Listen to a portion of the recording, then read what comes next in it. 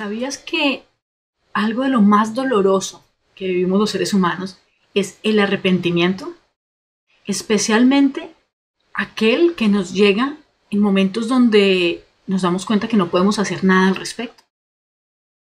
Hay un libro eh, de una enfermera australiana, se me escapa el nombre en este momento, que habla de los cinco arrepentimientos de las personas que están muriendo. Es una enfermera de cuidados paliativos que escuchando a sus pacientes constantemente se dio cuenta que había cinco grandes arrepentimientos que, que las personas expresaban ya en su lecho de muerte.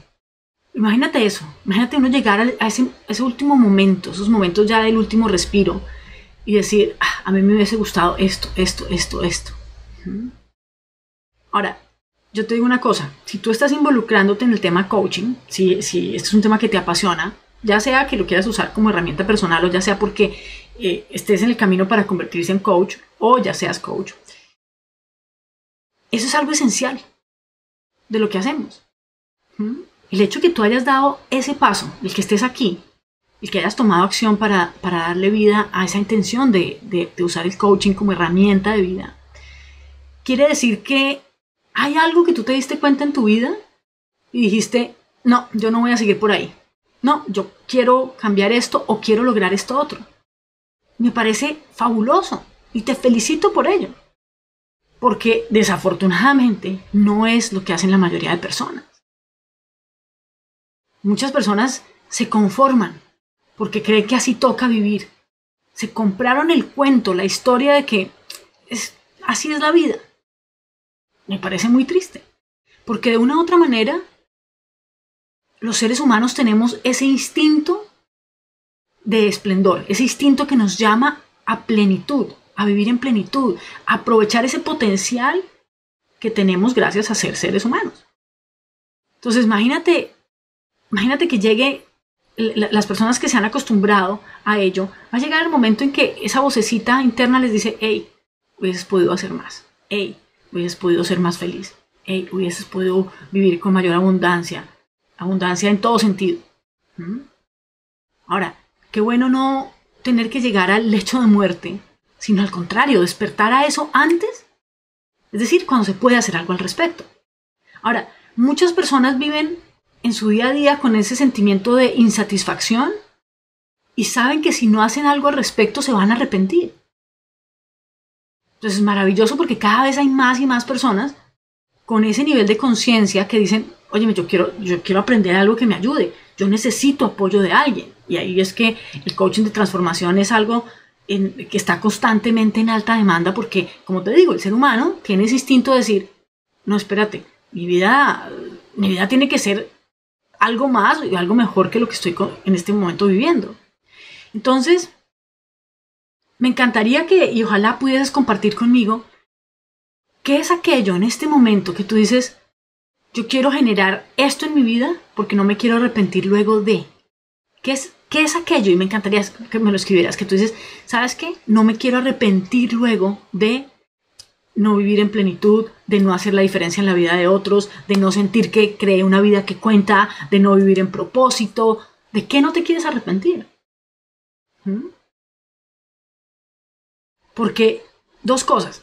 Esencial que puedas chequear contigo en este momento y decir, ajá, esto es lo que, esta es la vida que quiero diseñar para no arrepentirme de esto otro. Y digo que qué bueno que lo puedas articular. ¿Por qué?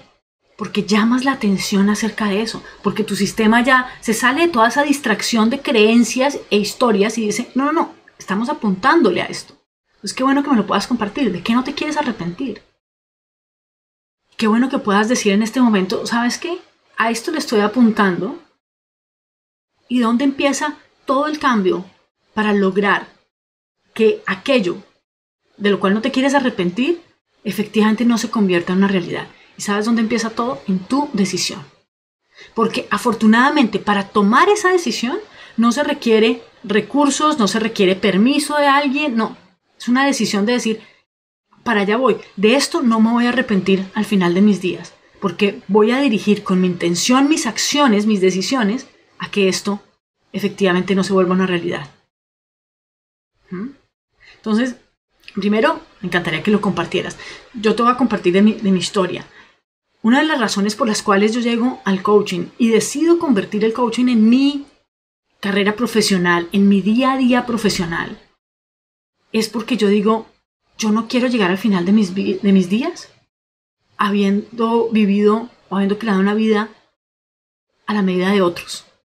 Yo quiero dedicar, dedicarme a algo que me llene a mí, que yo sienta pasión por ello, que sienta que, que le di vida a esa vocación.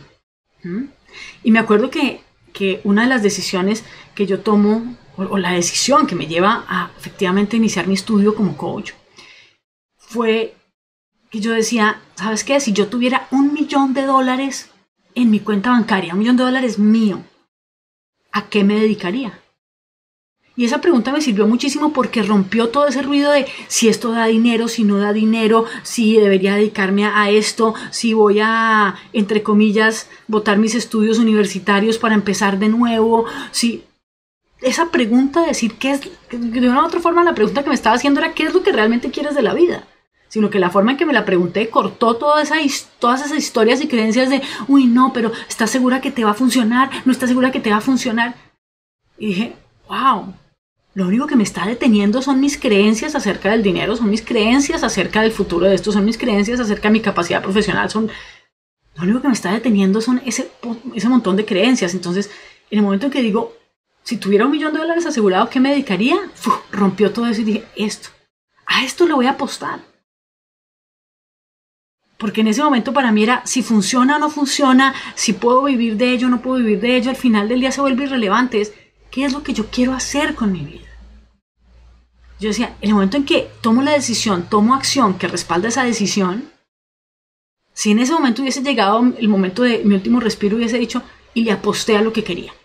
Por lo menos no me voy a arrepentir de eso. No me voy a arrepentir de si hubiera. No, voy a, wow, le di vida a lo que quería.